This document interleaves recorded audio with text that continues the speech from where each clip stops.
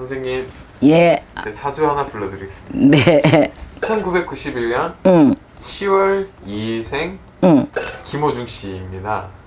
음. 제가 이거를 왜 불러드린지 아시겠죠, 선생님?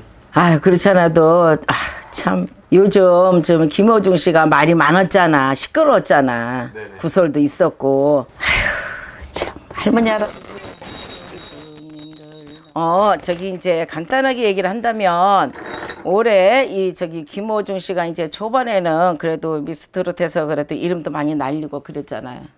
그랬는데 또 이제 말도 많았었고 그거는 이제 그 사람들끼리 이제 해결할 문제고 근데 해결은 뭐여 얼렁 빨리 안 된다고 해도 사람들이 갖다 하는 일이기 때문에 그래도 해결 종말은 갖다 이어 돼요. 그러니까 그건 걱정하지 않아도 되는데 단지 걱정되는 것은 개인적으로도 김호중 씨는 바빠요.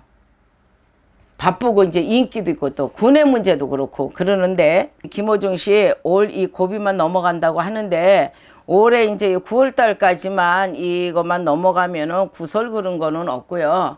재물의 운도 그렇고 뭐요 또 그만큼 아픈 만큼 성숙해지고 비가 오고 난 뒤에는 뭐이 땅이 단단해지듯이 좋은 것을 얻는 방면에 충격도 많이 받았단 말이야.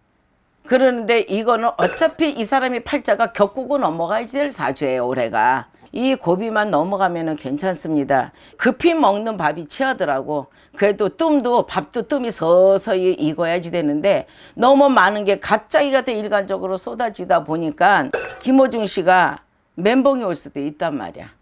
그래서 내가 실수도 할 수도 있는 것이고 그러는데 뭔가를 이 김호중 씨가 그거를 본인 스스로가 느꼈기 때문에 이제는 본인이 두 번 다시 실수를 안 하려고 노력을 하고 또 본인의 마음이 먹은 뜻이 있습니다. 그 뜻을 분명히 이루니까요. 팬클럽 여러분들 김호중 씨 힘낼 수 있게끔 많이 응원해 주세요. 응원해 주시고 이제 이 올해년 같다 요. 그래도 이렇게 이 하반기서부터는 괜찮아. 괜찮고 그러니까 이 사람 이제 생일달 지나고 나서는 괜찮습니다. 괜찮고 내년에도 그렇고 그리고 보이지 않는 뒤에서 섭외는 많이 들어와요. 응. 섭외는 많이 들어오고 그러니까는 그 나름대로 이제 바쁘거든.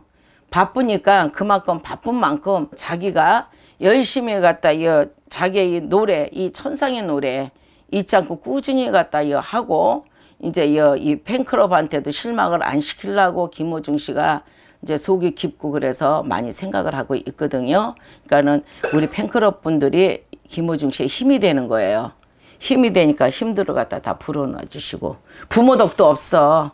부모 덕도 없고 그러니까 뭐 자꾸 이런 말 저런 말 갖다 그냥 그거 가지고서는 말을 말꼬리에 꼬리를 물고 뭐 엄마가 어떻고 어쩌고 막 이러는데 그런 거는 다 무마시해 해버리고요. 김호중 씨는 혼자서 충분히 일었을 수 있는 사람이고 귀인도 갖다 이제 나오고 이러니까 걱정하지 마세요. 그리고 이 양반 갖다 이 운은 올해 이제 10월달 생일달 지나고서부터는 괜찮습니다. 그리고 당연히 군대도 갔다 오면 좋고 어, 그러면 자기가 이제 할 일은 다 하고 나서는 이제 이 계획대로 다 서서히 이루어지고 있으니까는 우리 이 김호중 씨 꿈을 이룰 수 있게끔 본인이 계획 세운 대로 우리 이 팬클럽 여러분들 잘 이제 이 지켜봐 주셨으면 좋겠고요.